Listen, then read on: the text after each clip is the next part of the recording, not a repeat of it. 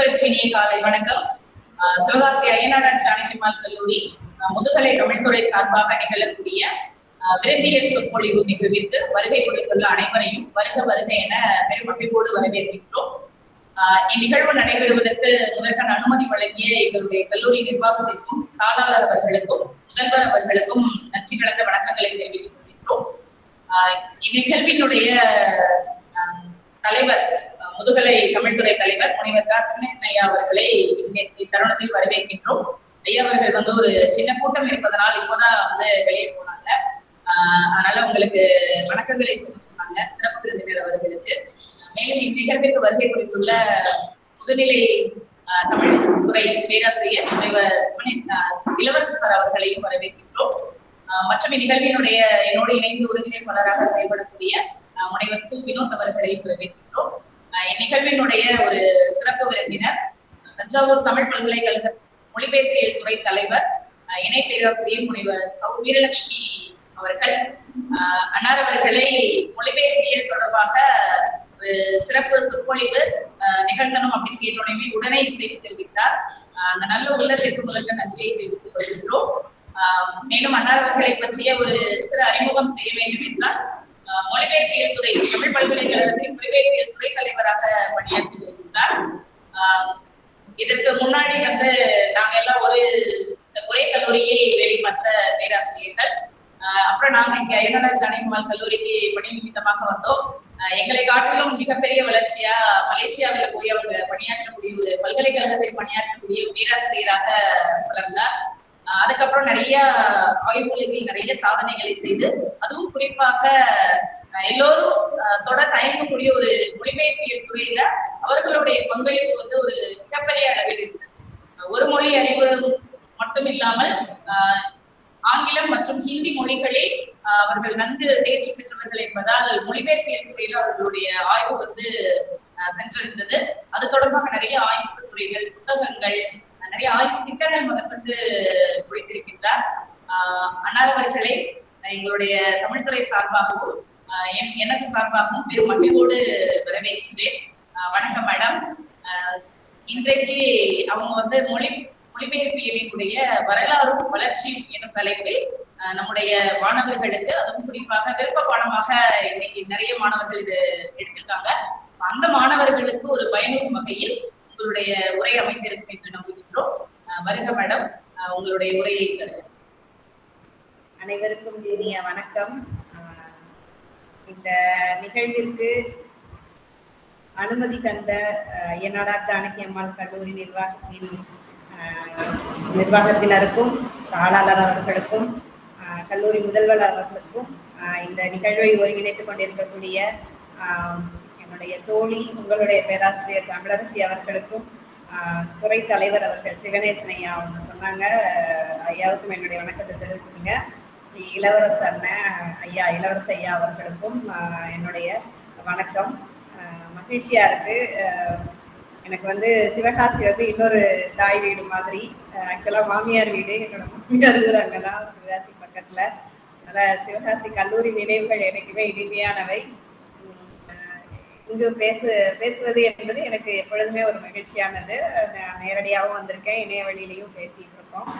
அதனாலதான் மாணவர்களுக்கு மொழிபெயர்ப்பு பற்றி பேச வேண்டும் என்றவுடன் நான் சரின்னு சொன்னேன். ஒரு அறிமுகமாக இது இருக்கட்டும் அப்படின்றதுக்காக நான் முக்கியமாக இங்க கூடியிருக்கக்கூடிய மாணவர்களுக்கு என்னுடைய வணக்கம். ஏன்னா இந்த சாப்பாட்டுக்கு பிறகு ஒரு என்னது ஒரு மயக்க நிலையில இருப்போம். இருந்தாலும் மொழிபெயர்ப்பு பற்றி கேட்க ஆர்வமோட இங்க வந்திருக்கீங்க. மகிழ்ச்சி. ஸ்லைட் ஷேர் பண்ணலாமா அதுல? பண்ணலாம் மேடம். ஆ ஓகே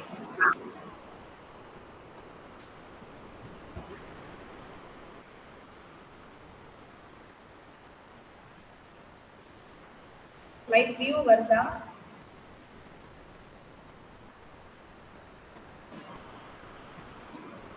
வரல மேடம் ஷேர் ஆகல. இப்போ? ஷேர் ஆகுது.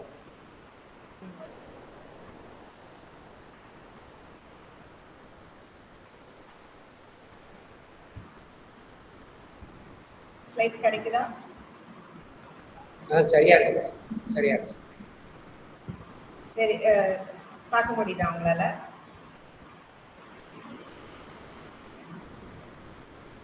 ஆ பார்க்க முடியுது தொடங்க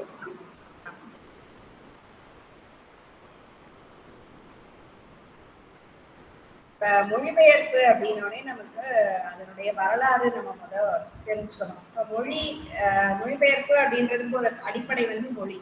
அப்ப நம்ம என்ன மொழிபெயர்ப்பு எப்படிப்பட்டது அப்படின்னு யோசிச்சோம்னா அஹ், ஒரு மொழி எப்படி பழமையானதோ அதே போலதான் மொழிபெயர்ப்பும் பழமையானது.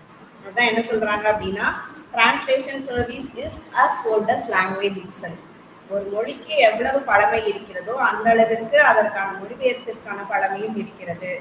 அப்ப நம்ம தமிழ் மொழி சொல்றோம் இல்லையா? ரொம்ப பழமையானது அப்படின்னு சொல்றோம்.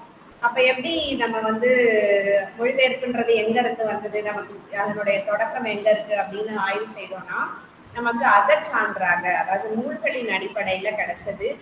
நமக்கு நம்ம எல்லாத்துக்குமே தெரியும். நம்முடைய முதல் இலக்கண நூல் தொல்காப்பியம். அப்ப தொல்காப்பியர் காலத்திலேயே மொழிபெயர்ப்பு என்ற தொடரையே நம்ம பயன்படுத்த என்ற சொல்லையே பயன்படுத்த ஆரம்பிச்சிட்டோம். மரபியல்ல தொகுத்தல் விரித்தல் தொகை விரி மொழிபெயர்த்து அதற்பட யாத்தலோடு அனைமரபினவே அப்படின்னு இங்க இருந்துதான் நம்முடைய வரலாறு நமக்கான இலக்கணம் கிடைக்குது. மொழிபெயர்ப்பை எப்படி செய்யணும் அப்படின்றதெல்லாம் அவர் சொல்றாரு.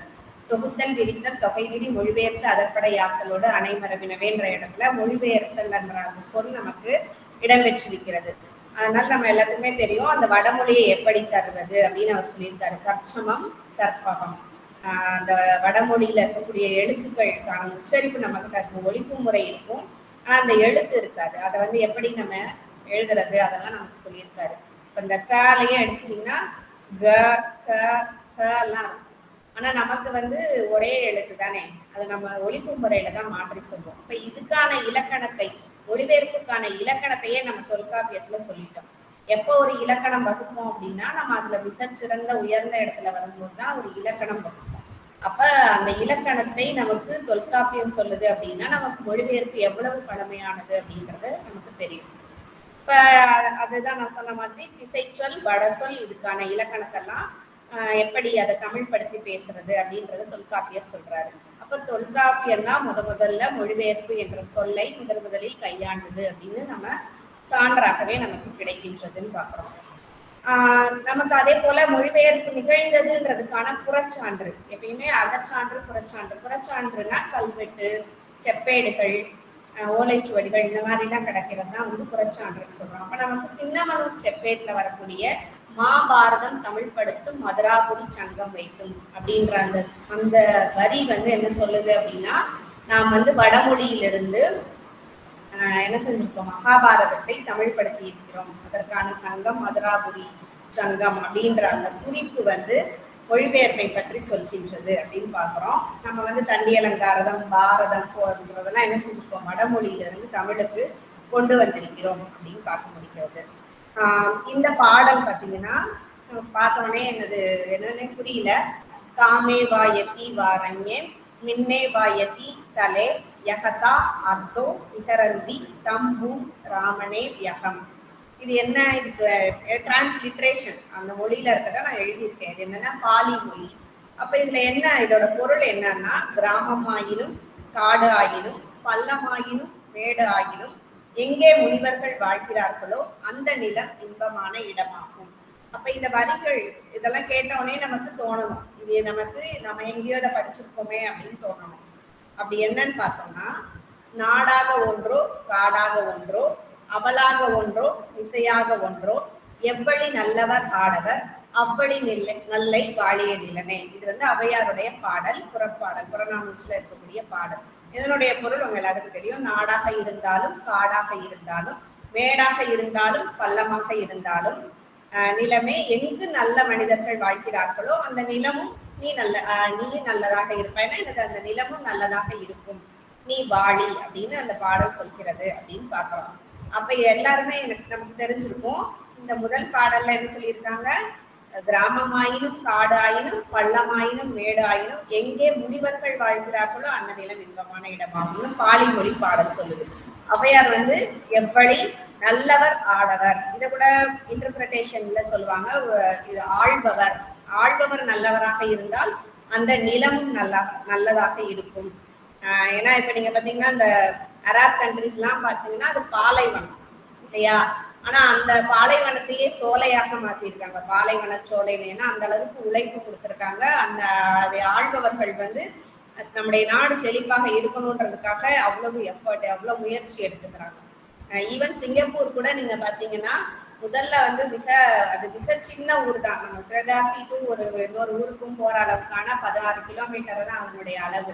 ஆனா அதை வந்து ஒரு சொர்க்கமாக மாத்தி வச்சிருக்காங்க. அதுவும் மிக காடாக இருந்த இடம் தான் அதை சீர்திருத்தி அதற்கு பெரும்பங்கு நம்முடைய தமிழர்களுடைய பங்கு தான் நீங்க சிங்கப்பூர் போனீங்கன்னா அதை காட்சிப்படுத்தி இருப்பாங்க எப்படி அது முதல்ல இருந்துச்சு?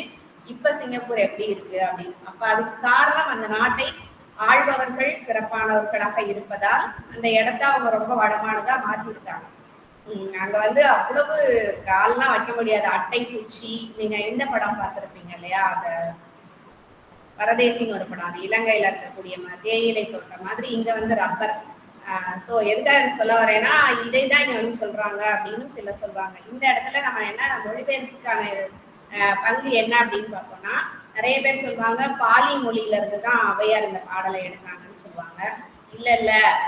ஏன் அது இல்லைன்னு சொல்றோம்னா நமக்கு அந்த துறவு முனிவர் அப்படின்ற இதெல்லாம் கான்செப்ட் எல்லாம் பின்னாடி வந்தது. பிற்காலத்துல வந்ததுதான். நமக்கு சங்க காலத்துல துறவு பற்றி எங்கேயுமே நமக்கு வரல. துறவு நம்ம வந்து வீடு பேரு இதெல்லாம் வந்து தொல்காப்பியம் கூட அறம்பொருள் இன்பம் தான் சொல்லுது. நன்னூல் வந்த பிறகுதான் அறம்பொருள் இன்பம் வீடு அப்படின்றத பேசுது. சமண பௌத்த சமயங்களின் வருகைக்கு பிறகு பெருஞ்சமயங்கள் சைவம் மைனும் பெருஞ்சமயமாக உருமாறிய போதுதான் இந்த ஸ்வர்க்கம் வீடு பேரு துறவு இதெல்லாம் பேசுறோம். அப்ப நம்முடைய சங்ககால இனக்குழு வாழ்க்கையில அந்த துறவு பத்தி கிடையாது. அப்ப சங்க இலக்கியத்தை படித்துதான் இந்த பாலி மொழியில அந்த பாடலை மொழிபெயர்த்திருக்கிறார்கள் அப்படின்ற முடிவுக்கு நாம் உறுதியாகவே வரலாம். அதுக்கான காரணங்களை நான் சொல்றேன். இந்த அதுதான். தம்ம பதத்துல இருக்கக்கூடிய பாடல் வந்து முனிவர்கள் நல்லவர்களாக இருக்கக்கூடிய இடம் முனி சாரி முனிவர்கள் இருக்கக்கூடிய இடம் இன்பமான இடம்னு சொல்லுது. நம்ம அப்படி எங்கேயுமே சங்க காலத்துல படிச்சது கிடையாது. இப்ப நம்ம தான் ஏன்ஷியன்ட்ன்றதுனால இங்கிருந்து அங்கு செஞ்சிருக்கக்கூடியது அப்படின்றத நான் இந்த இந்த கருத்தை இதுல சொல்ல விரும்புறேன்.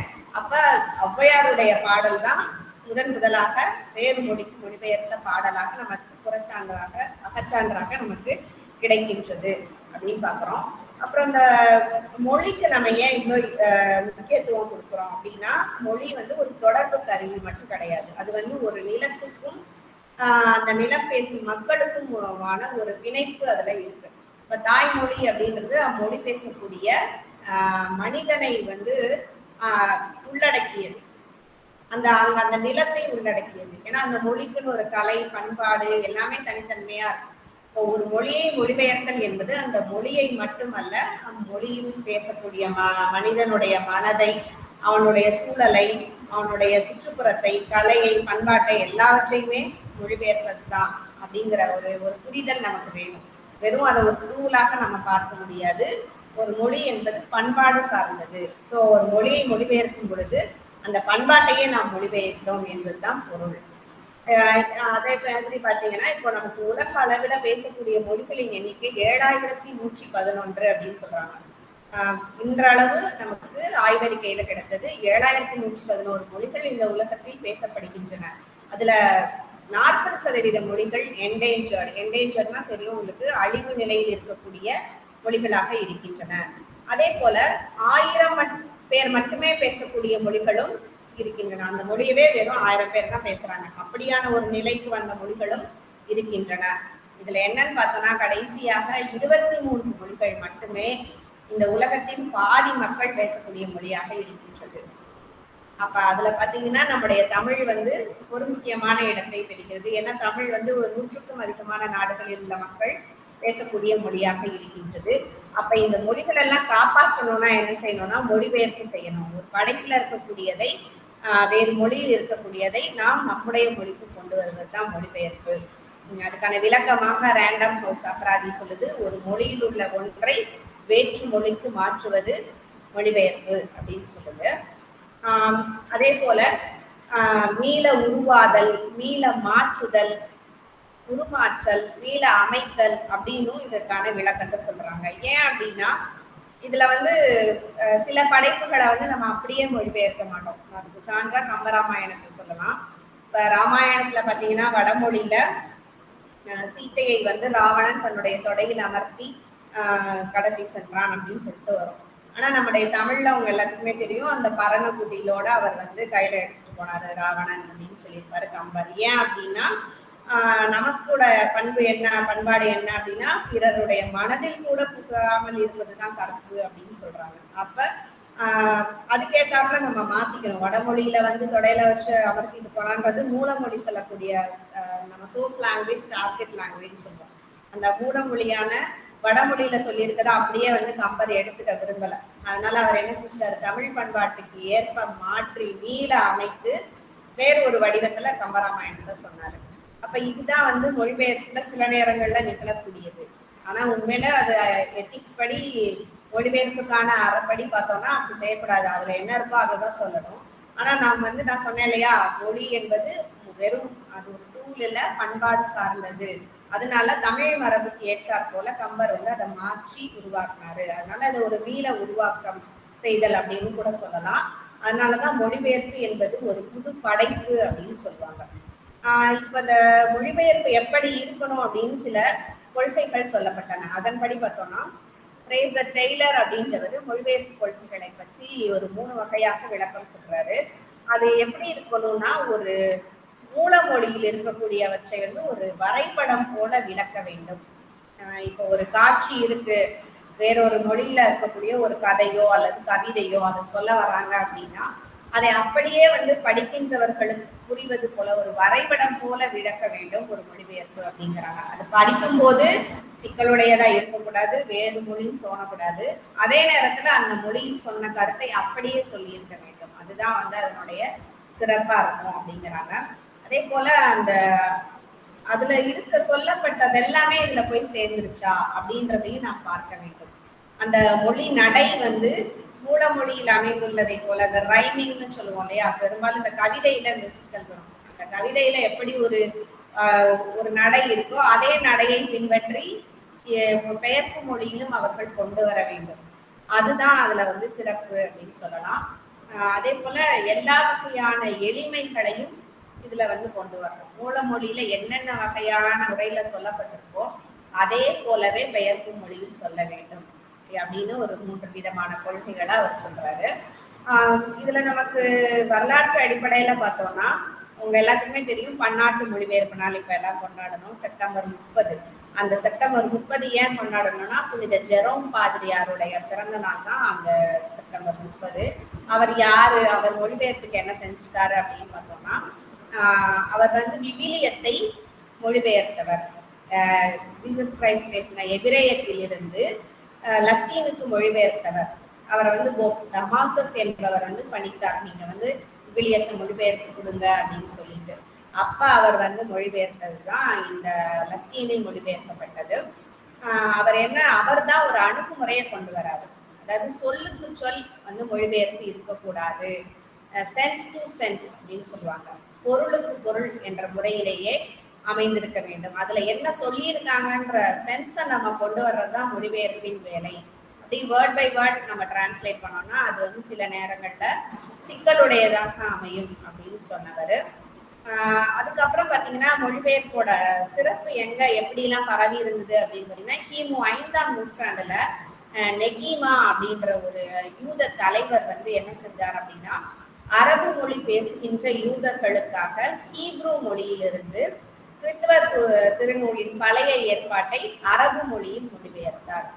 கிமு இருநூத்தி ஐம்பதுலேயே இந்த மொழிபெயர்ப்பு நிகழ்ந்தது அப்படின்னு சிலர் அறிஞர்கள் சொல்கின்றார்கள். இதுல பாத்தீங்கன்னா அரபு வந்து எந்த அளவிற்கு முக்கியத்துவம் கிடைத்தது ம- மொழிபெயர்ப்புக்குன்னா அவங்களுடைய தலைநகரான பாக்தாத்ல மொழிபெயர்ப்புக்குன்னு ஒரு மையமே உருவாக்கியிருக்காங்க. அதுல வந்து நிறைய அரபி நூல்கள் வந்து லத்தீன் மொழிக்கு மாற்றப்பட்டன. ஏன் லத்தீன் மொழிக்கு மாற்றப்பட்டது அப்படின்னா அன்றைய காலகட்டம் நிறைய அறிஞர்கள் இருக்கக்கூடிய பேசக்கூடிய மொழியாக லத்தீன் மொழி இருந்தது. இன்னைக்கு நம்ம எப்படி உலகத்தை வந்து ஒரு வணிக மொழியாக இருக்கக்கூடிய ஆங்கிலம் ஆட்சி செய்கிறது இல்லையா? இன்னைக்கு நமக்கு ஒரு மனப்பான்மை இருக்கு. ஆங்கிலம் பேசினால் அது வந்து ஒரு சிறப்பு ஆனா வேறு வழியும் இல்லை. சில பல காரணங்களுக்காக நாம் வந்து ஆங்கிலத்தை படித்து தான் ஆக வேண்டும். ஏன்னா நிறைய நூல்கள் உலகத்தின் பல நூல்கள் ஆங்கிலத்துல தான் மொழிபெயர்க்கப்படுகிறது முதல்ல. சோர்ஸ் லாங்குவேஜ்ல இருந்து. அதுக்கப்புறம் அது வந்து செகண்ட் டிரான்ஸ்லேஷனா வெவ்வேறு நாடுகளின் மொழிகளுக்கு மொழிபெயர்க்கப்படுகின்றன. இன்னைக்கு எப்படி ஆங்கிலம் இருக்கோ அது போல அன்று லத்தீன் இருந்ததுனால அந்த மொழிபெயர்ப்பு மையம் என்ன செய்தது? அரபு மொழி நூல்களை லத்தீனில் மொழிபெயர்த்தது. வந்து பார்க்க முடிகிறது. அவங்க அதுக்குன்னே ஒரு மொழிபெயர்ப்பு மையமே உருவாக்கி இருக்காங்கன்னா அந்த அளவுக்கு அதற்கு முக்கியத்துவம் கொடுத்துருக்காங்க அப்படின்றது புரிஞ்சுக்க முடியுது. ஆம், அந்த அதான். இதுக்கு காரணம் அன்றைய அரசியலும் ஒரு காரணம். ஏன் வந்து லத்தீன் மொழியில அதிகமா மொழிபெயர்ப்பு செஞ்சாங்க அப்படின்னா இன்னைக்கு கூட நமக்கு தெரியும் இல்லையா? வல்லரசு நாடான அமெரிக்காவும் அல்லது சூரியனே வந்து மறையாத பகுதி என்று சொல்லக்கூடிய இங்கிலாந்து ஆட்சி செய்யக்கூடிய அந்த ஒரு நிலை இரண்டு விதமாகவே என்னன்னா ஆங்கிலம் தான். அப்ப அந்த ஆங்கிலம் அதை என்- எப்படி இப்பொழுது ஆட்சி செய்கின்றதோ அது போல அன்றைய அரசியல் காரணத்தின் காரணமாகவும் லத்தீன் மொழியில நிறைய மொழிபெயர்ப்பு வந்துச்சு. ஆனா இன்னைக்கு நம்முடைய இந்தியால ஒரு சூழல் இருக்கும் எல்லாத்துக்குமே தெரிஞ்சிருக்கும். இந்த ஜொமேட்டோன்ற ஒரு நிறுவனம் வந்துட்டு ஹிந்தி மொழியில அது ஏன் அவங்களுக்கு தெரியாதான்னா ஆக்சுவலா அது அந்த கொள்கையே நிறைய பேருக்கு புரியல. நேஷனல் லாங்குவேஜ் எதுவும் கிடையாது. இந்தியாவில் பல மொழிகளை சேர்ந்து தான் நம்ம அறிவிச்சிருக்கோம். அப்படிங்கும்போது அது சிக்கலாச்சு. அப்போ எல்லாரும் அதை வந்து அந்த ஆப் அன்இன்ஸ்டால் பண்ணி நிறைய ட்வீட் வந்து நேஷனல் இன்டர்நேஷனல் லெவல்ல பரவன உடனே அந்த நிறுவனம் மன்னிப்பு கேட்டது. நாங்கள் சொன்னது தப்பு. இனிமே தமிழில் நாங்கள் சேவை வழங்குகிறோம். அதுக்கு வந்து கோயம்புத்தூர்ல ஒரு ஹப் உருவாக்குறோம் அப்படின்னு சொல்லியிருக்காங்க. ஏன்னா இன்னைக்கு தமிழுக்கான ஒரு முக்கியமான இடம் இருக்கு. அதுக்கான தமிழின் அரசியல் வந்து முக்கியமானதாக இருப்பதனால அந்த நிறுவனம் வந்து அடிபணிஞ்சு மன்னிப்பு கேட்டு அவங்க வந்து அதுக்கான அறிக்கை விட்டாங்க. அப்ப அந்த மொழிக்கான அரசியல் பின்புலமும் தேவைப்படுது. அது இருந்தாதான் வந்து அந்த மொழியை வந்து ஏற்றுக்கொள்ளப்படுகிறது. அது இலக்கியத்திலும் சரி. அப்ப அந்த மொழிபெயர்ப்புக்கு அந்த அரசியல் சூழலும் ஒரு காரணமாக இருக்கிறது அப்படின்றதுக்கு இன்றைய நம்முடைய தமிழக சூழலையும் நாம் முக்கியமாக சொல்லலாம். ஆஹ் அதே போல இதுல வந்து நம்ம பாத்தீங்கன்னா வெறும் வந்து ஒரு ஊடகமாக இல்லாமல் அது என்ன செய்யுது அப்படின்னீங்கன்னா அந்த மக்களுடைய பண்பாடு சமுதாய சமய அரசியல் தெளிவுகளை காட்டுவதற்கும் மொழிபெயர்ப்பு இன்றியமையாததாக இருக்கின்றது. ஆஹ் அது மட்டுமல்லாமல் இன்றைய காலத்துல வரலாறு சட்டம் அறிவியல் நிதி ஆட்சித்துறை இதுல எல்லாம் மொழிபெயர்ப்பு துறை அப்படின்ற ஒண்ணு இருக்கு. நீங்க ஊடகங்கள்ல எடுத்துக்கிட்டீங்கன்னா அது தொலைக்காட்சியாக இருக்கட்டும் செய்தி தாள்களாக இருக்கட்டும் எந்த ஊடகமாக இருந்தாலும் அதுக்கு மொழிபெயர்ப்பாளர் இருப்பாங்க. ஏன்னா அதன் மூலமாக எனக்கு தெரியும் உலகமே ஒரு கிராமம் ஆயிடுச்சு. அப்போ உலகத்துல இருக்கக்கூடிய எல்லா செய்திகளையும் நாம் கொண்டு வரணும் இல்லையா? அதுக்கு ஒரு மொழிபெயர்ப்பாளர் வேணும் அப்படின்றதுனால இந்த கருத்து பரிமாற்றத்திற்கும் இது வந்து ஒரு ஊடகமாக இந்த மொழிபெயர்ப்பு அமைகின்றது. உங்க எல்லாத்துக்குமே தெரியும். இந்த கோவிட் காலகட்டம் என்பது மிக கொடுமையான காலகட்டம். அப்ப வந்து இந்த வேர்ல்டு ஹெல்த் ஆர்கனைசேஷன் வெளியிட்ட பல செய்திகள் வந்து என்னது ஆங்கிலத்துல இருந்தது. அதை அதாவது விழிப்புணர்வு நோய்க்கான அறிகுறிகள் தற்காப்பு முறைகள் இதெல்லாமே வந்து என்ன செஞ்சாங்க? அந்தந்த நாட்டினுடைய அந்தந்த பிராந்திய மாநில மொழிகளில் மொழிபெயர்த்து கொடுத்தாங்க. அப்ப அந்த இடத்துல மொழிபெயர்ப்பு என்பது ஒரு முக்கியமான நிலையை எட்டியது. ஏன்னா மருத்துவத்துறையில இருக்கவங்களுக்கே இன்று வரை அது ஒரு புரியாத புதிதா இருக்கு. ஸோ அப்பப்ப அதற்கான செய்திகள் எல்லாம் மொழிபெயர்ப்பின் மூலமாக தான் உலகமெங்கும் கொண்டு செல்லப்பட்டது அப்படின்னு பார்க்குறோம். அதே போல வரலாறு சட்டம் அறிவியல் நிதித்துறை. எல்லா துறைகளிலும் நிகழக்கூடியவற்றை மொழிபெயர்ப்பு தான் என்ன செய்து உலகம் முழுக்க கொண்டு செல்கின்றது. நமக்கு தெரியும் நம்ம பாரதியார் சொன்னது பிற நாட்டு நல்லறிஞர் சாத்திரங்கள் தமிழ் மொழியில் பெயர்த்தல் வேண்டும். ஒரு மொழி வந்து வளமான மொழினா அதுல நிறைய மொழிபெயர்ப்புகள் வந்திருக்கணும். அதே போல அந்த மொழியையும் நிறைய வேறு மொழிகள்ல மொழிபெயர்த்திருக்கணும் அப்ப அப்பதான் நமக்கு வந்து அந்த மொழி செல்வாக்குடைய மொழி சொல்வளம் நமக்கு அதிகமா இருக்கு. நமக்கே தெரியும். தமிழ் வந்து ஒரு சொல் வளம் மிக்க மொழி. அப்ப அந்த மொழியை வந்து நாம் கொண்டு சேர்ப்பது என்பது நம்முடைய கடமை. அதுக்கப்புறம் பாத்தீங்கன்னா இந்த மொ- மொழிபெயர்ப்பை நம்ம எப்படி சொல்லலாம் அப்படின்னா சில நேரம் வந்து மொழிபெயர்ப்பு சொல்லுவாங்க. மொழிபெயர்ப்பு வந்து ஒரு கொலை அப்படின்னு சொல்லுவாங்க. ஏன் அப்படின்னா ஆஹ், மூல மொழியில இருக்கிறத அப்படியே கொண்டு வர்றாங்களா அப்படின்றது நமக்கு ஒரு கேள்வி. சில நேரங்கள்ல அது திரித்தும் சொல்லப்படும். பண்பாட்டுக்கு ஏற்ப மாற்றுவது வேறு அந்த பொருள் புரியாமல் திரித்து மாற்றி சொல்வது என்பது வேறு. அது ஒரு சிக்கல். அப்போ ஒரு மனிதன் தான் பெற்ற அதாவது அந்த மொழிபெயர்ப்பாளர் தான் பெற்ற உணர்வை வாசகருக்கும் கொண்டு செல்ல வேண்டும். அதுக்கு கூட ஒரு வே- கேலியாக அவங்க சொல்லுவாங்க அது எப்படி ஒரு பழத்தை ஒருவன் தான் உண்டு அதன் சாறு வந்து இன்னொருத்தனுக்கு அந்த ஒரு சுவை தெரியும் அப்படின்னு கேட்பாங்க. ஏன்னா அந்த மொழிபெயர்ப்பாளருக்கு இரண்டு மொழிகளுமே தெரியும் அதனால அவர் மொழிபெயர்க்கும் போது அதன் சாரத்தை அவர் உணர்ந்துக்குவாரு. ஆனா வாசகனுக்கு ஒரு மொழி தான் தெரிஞ்சிருக்கும். அப்படிங்கும்போது அது முழுமையாக சென்று சேருமா அப்படின்னு கேட்பாங்க. ஆனால் அதையும் தாண்டி அதை ஒரு வாசகனுக்கு கடத்துவது அதனுடைய உள்ளீட்டை கடத்துவது தான் சிறந்த மொழியாக்கம் அப்படின்னு சொல்றாங்க. இப்ப நமக்கு இந்த உலக அளவுல மொழிபெயர்ப்பின் வரலாறு எங்க தொடங்குது அப்படின்னு பார்த்தோம்னா விவிஎஸ் அண்டோனிக்ஸ் அப்படின்றவர் வந்து இருநூற்றி ஐம்பதுல லத்தீனில் அதாவது கிரேக்கத்திலிருந்து லத்தீனில் மொழிபெயர்த்த ஹோமரின் ஒடிசி தான் முதன் முதல்ல மொழிபெயர்க்கப்பட்டது அப்படின்றது நமக்கு கிடைக்கக்கூடிய சான்றாக இருக்கின்றது. தமிழில் மொழிபெயர்ப்பு நான் சொன்னது போல இதெல்லாம் ஏற்கனவே நம்ம பார்த்தது.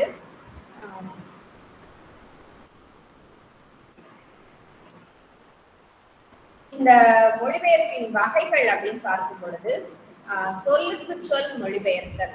அது லிட்ரல் அண்ட் மெட்டாஃப்ரைஸ் டிரான்ஸ்லேஷன் அப்படின்னு சொல்றாங்க. இது நான் சொன்ன மாதிரி இந்த சொல்லுக்கு சொல் மொழிபெயர்த்தல் அப்படிங்கும்போது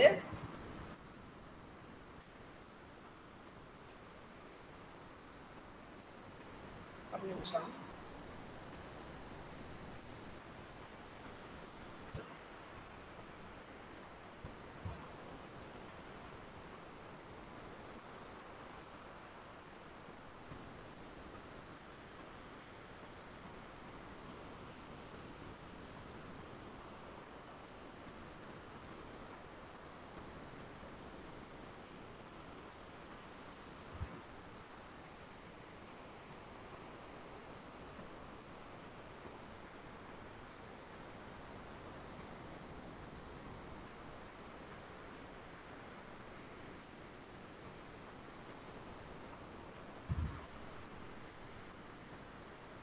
மேடம் ஸ்கிரீன் தெரியுதா?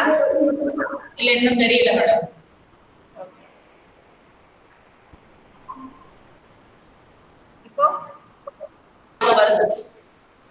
மொழிபெயர்ப்பு முறைகள். ஆ ஓகே.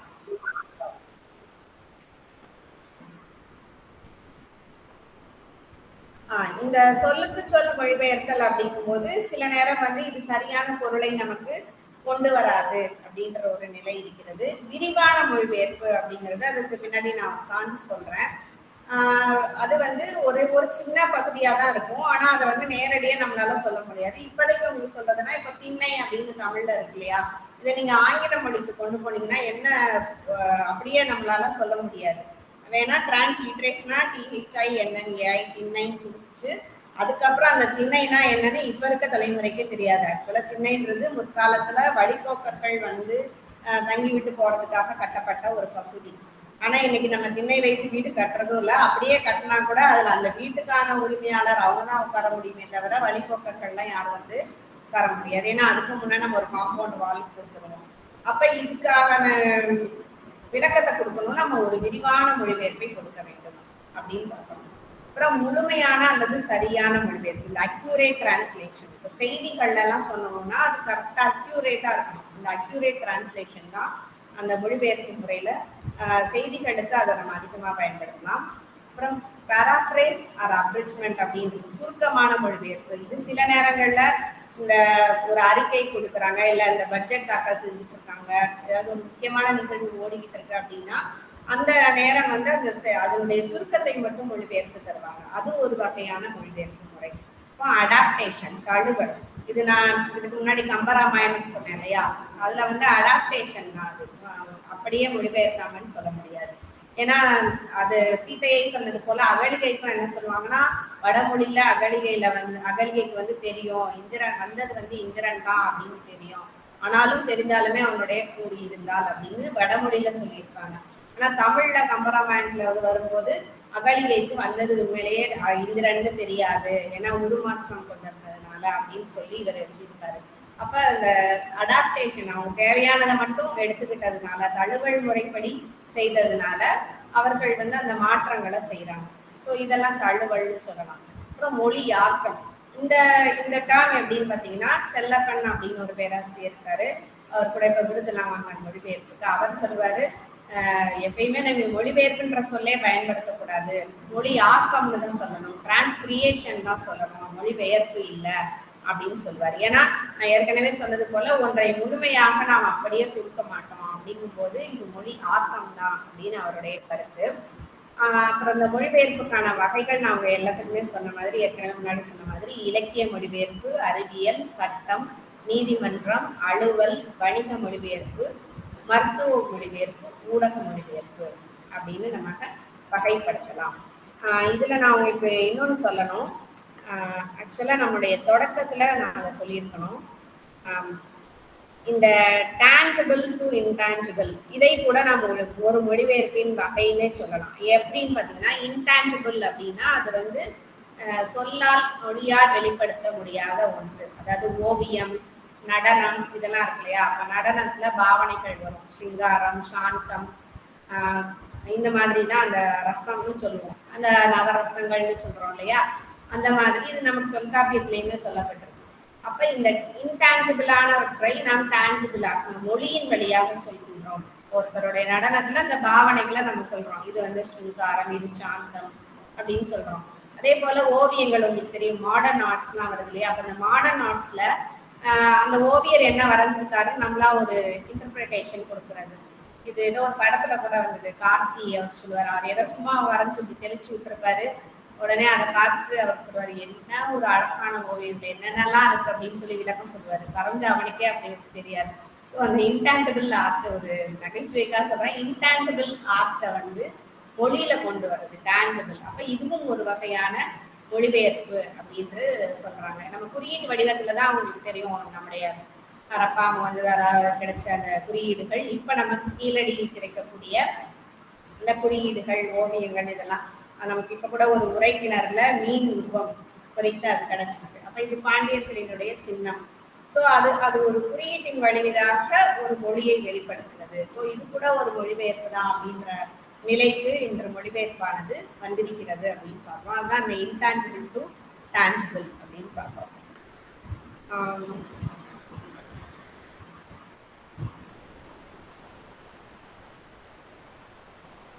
இதான் நான் சொன்ன அந்த அவர் அவர் சொ- அவர் வார்த்தையில சொன்னது வந்து not not word for word but sense for sense இது வந்து இது அவருடைய மொழியில சொன்ன இந்த வாசகம் அதில் அப்படியே கொடுக்கப்பட்டிருக்கு.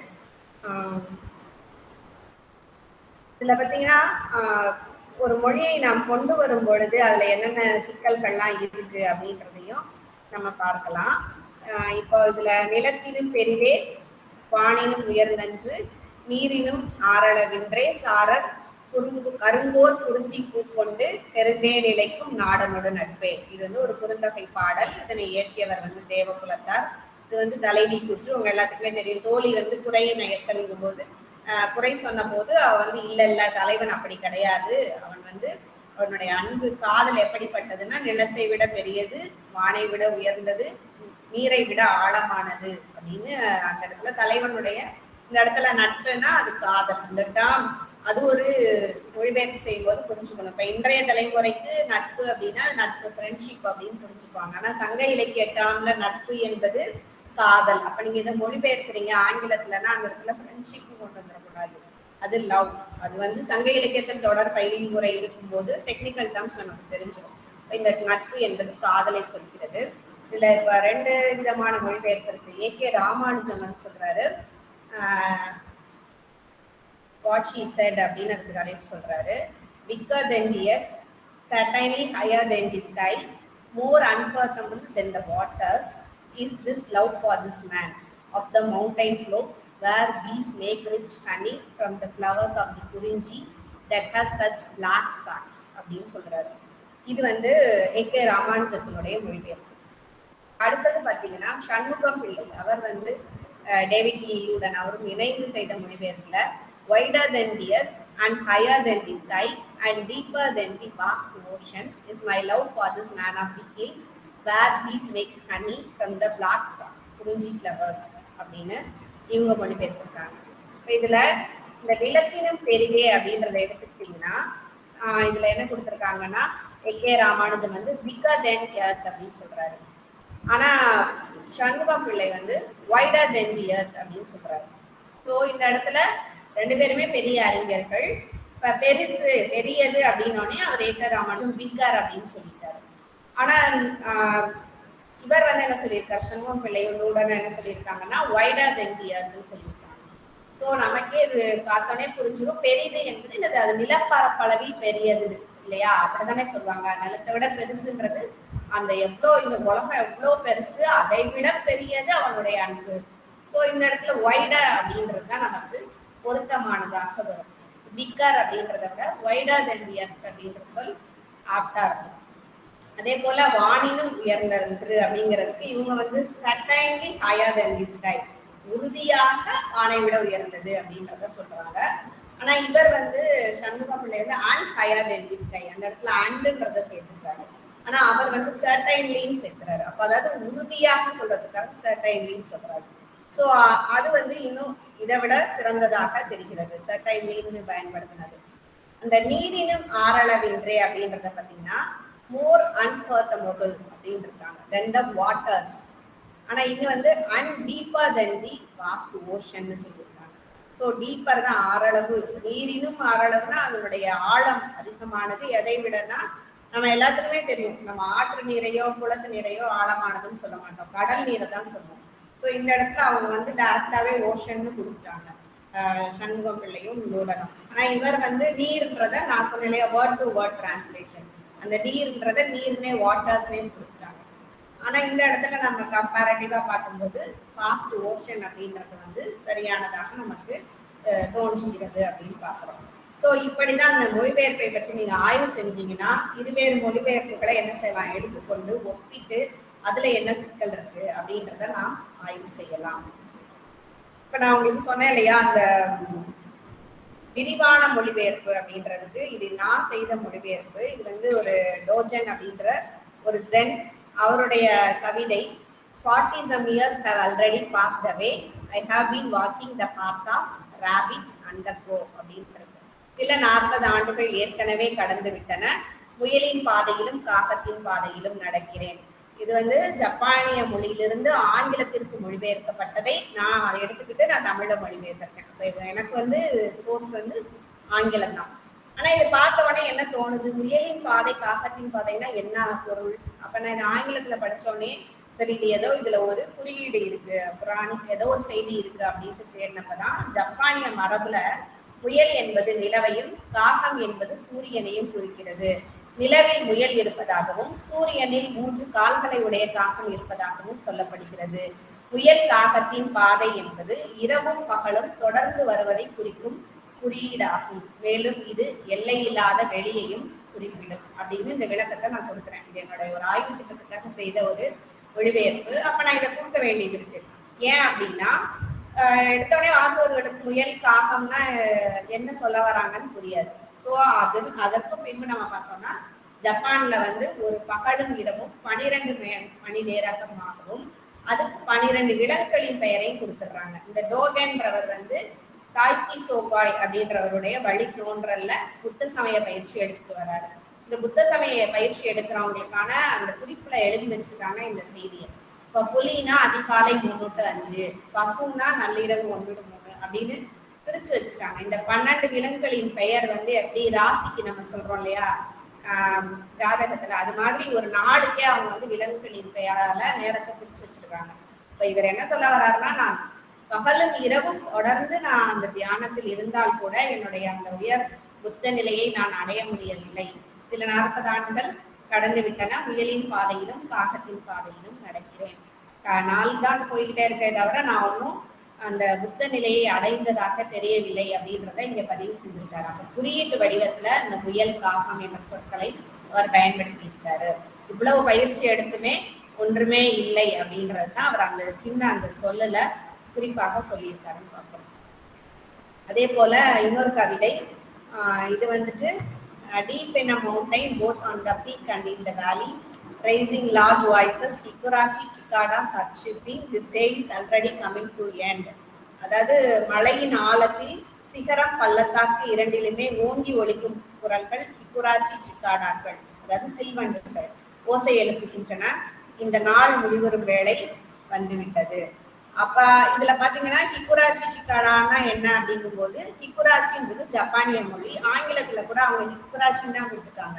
அதை மொழிபெயர்க்கல. ஹிக்குராச்சின்னா என்ன அப்படின்னு பார்த்தோம்னா சில்வண்டு வகையில அது ஒரு பூச்சி இனம். இது வந்து என்ன செய்யும்னா இரவிலும் அதிகாலையிலும் தான் அதிகமாக ஒளி எழுப்பும். இது வந்து ஹைகூ கவிதையில இதை வந்து இலையுதிர் காலத்தின் தொடக்கத்தோட குறியீடாக இந்த ஹிக்குராச்சியை சொல்லுவாங்க. ஆனா இது வந்து கோடை கோடை காலத்துல தான் ஒளி எழுப்பக்கூடியது. ஹிக்குராச்சி என்பதற்கு நாளின் இறுதி என்று ஒரு பொருள். அப்ப இந்த கோடை காலத்துல பகல் நீளமாக இருக்கும் இல்லையா? நம்ம வந்து வாழ்க்கையிலும் அது மாதிரி இந்த நீண்ட பொழுது கோடை போன்ற பகல் பொழுதை நாம் வீணாக செலவழித்தால் அது வந்து ஒண்ணுமே செய்ய முடியாது. மீட்டெடுக்க முடியாது. ஏன்னா எல்லாத்தையுமே சம்பாதிச்சோம்னா இழந்து போன இந்த காலத்தை மீட்டெடுக்க முடியாது இல்லையா? அது போல அதே போல இங்க வந்து என்ன சொல்றாங்கன்னா சிக்காடா என்பது வாழ்க்கையின் குறியீடு. அந்த பற அந்த சீவண்டை என்ன செய்யும்னா நிலத்துக்கு அடியில இருக்கும். பெருசான உடனே தொ- பறக்க தொடங்கிய ஒரு வாரம் தான் அதனுடைய வாழ்க்கையே. குறைந்த காலம்தான் வாழ்க்கை. ஆனா அந்த வாழ்க்கையை அது வீணடிக்காமல் மனமாற ஒளி எழுப்பி பறந்து கொண்டிருக்கும். அப்படிங்கும் போது இது அந்த நிலையாமையை சொல்லக்கூடியதாக இருக்கிறது. அப்ப இருக்கக்கூடிய நாள் குறைவாக இருக்கும்னு தெரிஞ்சா கூட அது தன்னுடைய நாளை வந்து இன்பமாக கழிக்கின்றது பயனுள்ளதாக கழிக்கிறது. அது போல நாமும் ஒவ்வொரு நாளையும் வீணாக்காமல் கவனமாக சிந்தனையுடன் செய்ய வேண்டும் அப்படின்ற வாழ வேண்டும் அப்படின்றதுதான் சென் மரபு சொல்லக்கூடியது. ஏன்னா அவங்க சொல்லுவாங்க நீ இப்போது கடக்கும் ஆறு. அந்த ஆறு உங்களை கடந்துச்சுன்னா அது திரும்ப பேக்லையும் வராது திரும்பியும் போகாது. ஸோ இந்த நொடியில் நாம் செய்யக்கூடியவற்றை சிந்தனையுடன் செய்ய வேண்டும் அப்படின்றது தான் சென் மரபு. அதுக்கு இந்த சிக்காடா குராச்சி சிக்காடான்றத கொடுத்துருக்காங்க. அப்ப இவ்வளவு ஒரு பெரிய விளக்கம் நான் கொடுக்க வேண்டியதாக இருக்கிறது அப்படின்றதுக்கு இந்த உதாரணத்தை நான் சொல்றேன். சில ஹிந்தி இது ஒன்னே ஒன்று மட்டும் சொல்லிடுறேன். சான்றோர் புகழும் முன்னாடுக பழியாங்கு கொள்பவே காணும் காலை இது வந்து கிடங்கில் குலபதி நக்கண்ணன் அவங்க செஞ்சது. இது நாங்க வந்து மு- முகநூல் ஃபேஸ்புக்ல ஒரு விளையாட்டா இந்த மொழிபெயர்ப்பு செஞ்சுட்டு இருந்தோம் ஐம்பது சங்க பாடல்கள்ல அதுல ஒன்று சான்றா கொடுத்துருக்கேன். ஏன் இதை கொடுத்துருக்கேன்னா சான்றோர் அப்படின்றது மொழிபெயர்க்கும் போது எனக்கு ஹிந்தியில கிடைக்கவே இல்லை. என்ன சொல் ஆக்டாவே வரல. சோ நான் வந்துட்டு வேற வழி இல்லாம மகான் அப்படின்ற சொல்ல கொடுத்தேன். மகான்னா நமக்கு தெரியும். மகான்னா உயர்ந்த சிறந்த தலை சிறந்த அந்த சொல் தான் மகான். ஆனா ஈக்குவலா எனக்கு அந்த இது வந்து வார்த்தை வந்து கிடைக்கல. சான்றோருக்கு ஈக்குவலா ஹிந்தியில கிடைக்கல. நான் மகான்ற சொல்ல தான் பயன்படுத்தினேன். அப்ப இதெல்லாம் மொழிபெயர்ப்புல நமக்கு எழக்கூடிய சிக்கல்களாக இருக்கின்றன. இதே போலதான் மதுராஷ்டகம்னு ஒன்று மொழிபெயர்த்தேன். கிருஷ்ணரை பற்றி எட்டு பாடல்கள். இதை நீங்க யூடியூப்ல வந்து எம்எஸ் அம்மா பாடல் அவங்க பாடின அவங்க குரலை கேட்டீங்கன்னா ரொம்ப அழகா இருக்கும். கிருஷ்ணருடைய தோற்றத்தை வர்ணிச்சிருப்பாங்க. அதுல வச்சனம் வச்சனம் மதுரம் சரித்தம் மதுரம் வசனம் மதுரம் வலத்தின் மதுரம் சலத்தின் மதுரம் பிரமித்தம் மதுரம் மதுராதிபதே அகிலம் மதுரம் அப்படின்னு வரும். இதுல அந்த வசனம் வச்சனம் தெரியும். வசனம் தெரியும். அது உரையாடல் சொல். இங்க இடத்துல வசனம் அப்படின்றது வந்துட்டு ஆடை. ஏன் இந்த இடத்துல அதை சரியா பயன்படுத்தணும்னா அதுக்கு ஏழு விதமான பொருள் இருக்கு வடமொழியில. Dwelling house dress garment ornament leaf இந்த மாதிரி பல பொருள் இருக்கு. அப்ப இந்த இடத்துல நான் இதெல்லாம் மொழிபெயர்த்து தான் இதை பார்த்தேன். ஏன்னா வலித்தம் அவனுடைய உடல் வளைவு மதுரம் அப்படின்னா அந்த உடல் வளைவுல இருக்கக்கூடியது ஆடையாக தான் இருக்கும். இல்லமாகவோ ஆர்னமெண்டாகவோ இருக்காது. அதனால இந்த மொழிபெயர்க்கும் போது இதெல்லாமே நம்ம நினைவில் வைத்து மொழிபெயர்க்க வேண்டும் அப்படின்ற அந்த செய்திகளையும் நான் உங்ககிட்ட சொல்லிட்டு இந்த உரையை வந்து நான் நிறைவு செஞ்சுக்கிறேன். நீங்க மொழிபெயர்ப்பு மேற்கொள்ளணும் அப்படின்னீங்கன்னா நிறைய உங்களுக்கு ஃபெல்லோஷிப்ஸ்லாம் கிடைக்குது. மாணவர்கள் கூட செய்யலாம். அதுக்கான கிராண்ட் எல்லாமே வந்துட்டு என்ஐஎஃப் டிரான்ஸ்லேஷன் ஃபெல்லோஷிப்னு ஒரு ஃபெல்லோஷிப் இருக்கு. அதுல நீங்க வந்துட்டு உங்களுடைய நம்முடைய மொழியில இருந்து ஆங்கிலத்துக்கு மொழிபெயர்த்தா அதுக்கு வந்து இத்தனை மொழிகள்ல மலையா தமிழுக்கும் இடம் இருக்கு. அதுல நீங்க மொழிபெயர்த்தீங்கன்னா உங்களுக்கு ஆறு லட்சம் ரூபாய் பணம் தராங்க. இதுக்கு டேட் கூட டிசம்பர் தேர்ட்டி ஃபர்ஸ்ட் வரைய இருக்கு.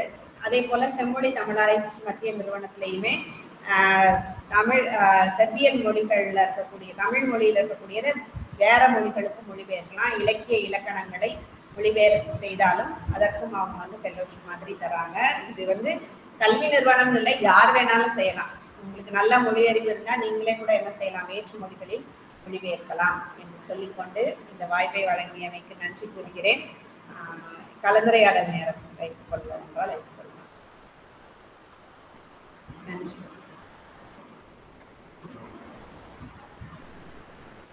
மேடம் ரொம்ப நன்றி.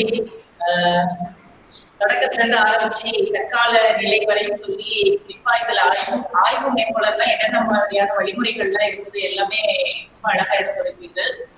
இப்ப மாணவர்கள் அவங்களுடைய ஒரு ஐயம் இருந்தா உங்களுக்கு பணி வாய்ப்பு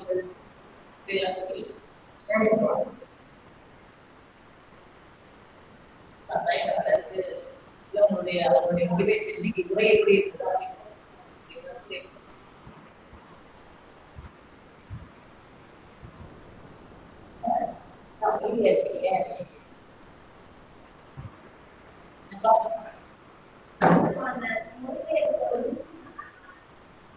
அடுத்த கேள்வி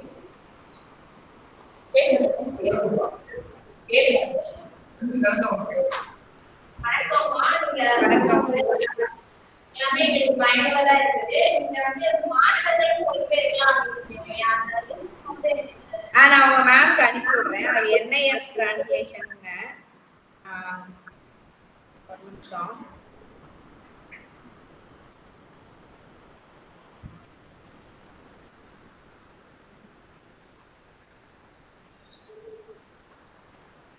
இதா இருக்கு இல்லையா? இது வந்துட்டு நியூ இந்தியா ஃபவுண்டேஷன் பார்க்க முடியுதா? இல்ல பார்க்க முடியல. பிரசன்ட் ஆகல மேடம் ஆகலையா? ஆ. இப்ப பார்க்க முடியுதா? ஆஹ் இப்ப வருது இப்ப. ஆ, இது வந்து இந்த நியூ இந்தியா ஃபவுண்டேஷன் அப்படின்றது. இதுல என்ன செய்யணும்னா நீங்க வந்து நான் ஃபிக்ஷன் ஒர்க்ஸ் அதாவது ஹிஸ்டரி ஓரியன்டான ஒர்க்ஸை வந்து எடுத்துக்கிட்டு அதை வந்து நம்முடைய நேட்டிவ் லாங்குவேஜ்ல இருந்து ஆங்கிலத்துக்கு மொழிபெயர்த்தீங்கன்னா அதுக்கு வந்து ஃபண்ட் கொடுக்குறாங்க. இது வந்து தௌசண்ட் எயிட்டீன் ஃபிஃப்டியில் இருக்கக்கூடிய காலகட்டத்திலிருந்து வந்த நூல்களாக இருக்கலாம்.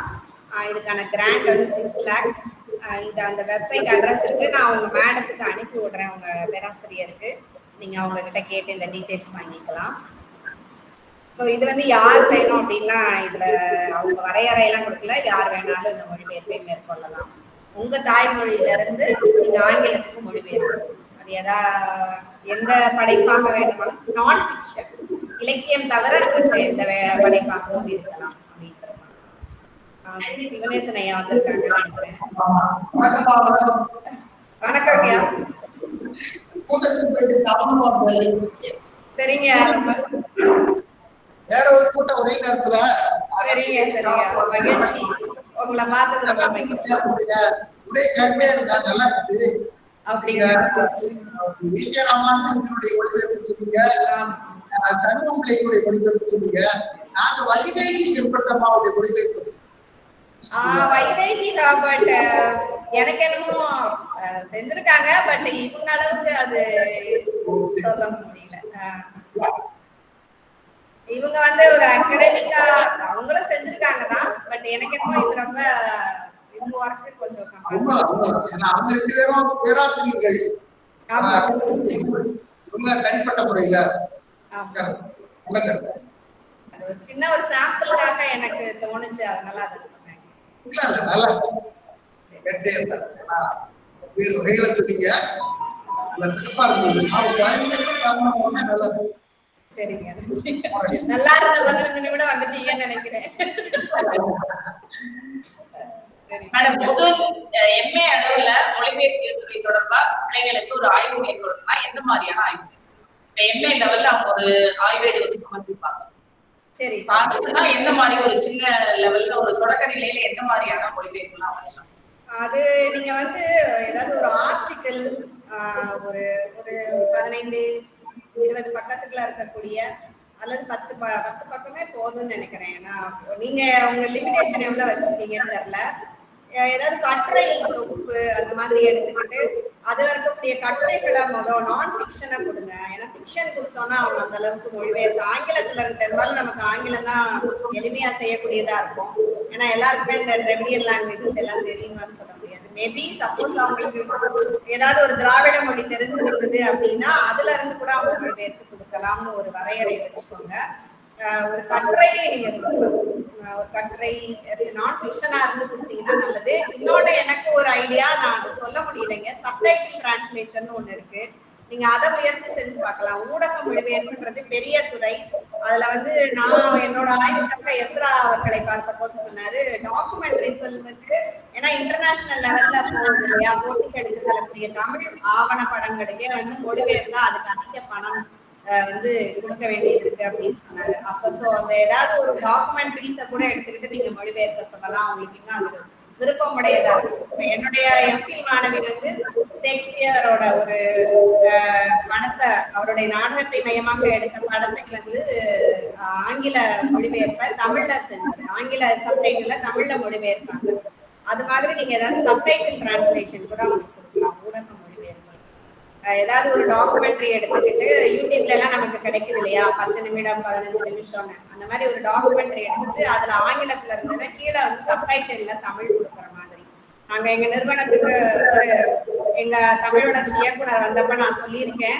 ஆஹ் மலேசியால எல்லாம் மலாய் மொழியில கட்டாயம் சப்டைட்டில் இருக்கணும். எந்த மொழி படம் வந்தாலும் மலாய் மொழி சீன மொழி தமிழ் மொழி படம் வந்தாலும் அதுல கீழே சப்டைட்டில் மலாய் மொழி இருக்கும் ஸோ தமிழ்நாட்டிலேயே அவங்க ஒன்று கொண்டு வாங்க. வெளிநாட்டு படங்கள் வந்துச்சுன்னா கட்டாயம் தமிழ் மொழியில சப்டைட்டில் இருக்கணும்னு கொண்டு வாங்கன்னு கேட்டிருக்கேன்.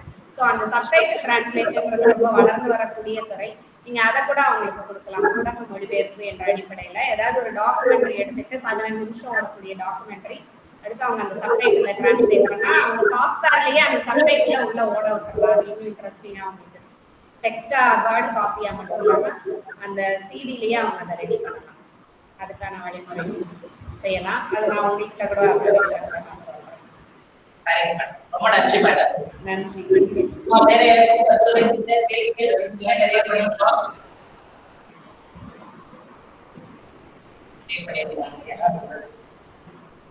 முறையாக நன்றி உரை விளங்க முனைவர் சு வினோத் அவர்களை அனைவருக்கும் இனிய மிக அழகாக முதுகலை கல்வித்துறையின் சார்பாக நடைபெறுகின்ற இந்த விருந்தியல் சொற்பொழிவுக்கான அனுமதிக்கு கல்லூரியில் முதல்வர் அவர்களுக்கு நன்றியை தெரிவிக்கிறேன் இந்த நிகழ்ச்சியினுடைய மேலான வழிகாட்டுதலாக கொண்டிருக்கிற எங்களது தமிழ்துறையின் தலைவர் சிவனேசன் ஐயா அவர்களுக்கும் நன்றியை தெரிவித்தார்கள் இந்த நிகழ்ச்சியில் விருந்தியல் சொற்பொழிவாளராக கலந்து கொண்டு மொழிபெயர்ப்பியலினுடைய வரலாற்றில் பயணித்து கொண்டே மொழிபெயர்ப்பியல் தொடர்பான நுட்பங்களை எல்லாம் மிக அழகாக எடுத்துரைத்த தஞ்சை தமிழ் பல்கலைக்கழகத்தினுடைய மொழிபெயர்ப்பியல் துறை தலைவர் இணை பேராசிரியர் சௌ. வீரலட்சுமி அவர்களுக்கு எங்களுடைய தமிழ்துறையின் சார்பாக நன்றியை தெரிவித்துக் கொள்கின்றோம்.